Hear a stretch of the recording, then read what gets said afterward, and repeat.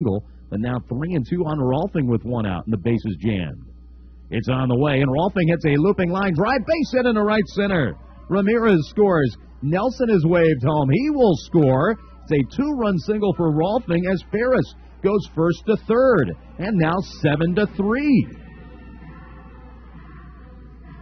Rohlfing continues to hit great at Frontier Field.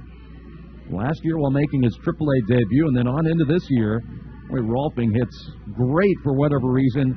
That one Morty Silver way. Well, that closes the books on Brandon Workman. All three runs go against his line in three and two thirds innings. Ferris at third, Rohlfing at first, both.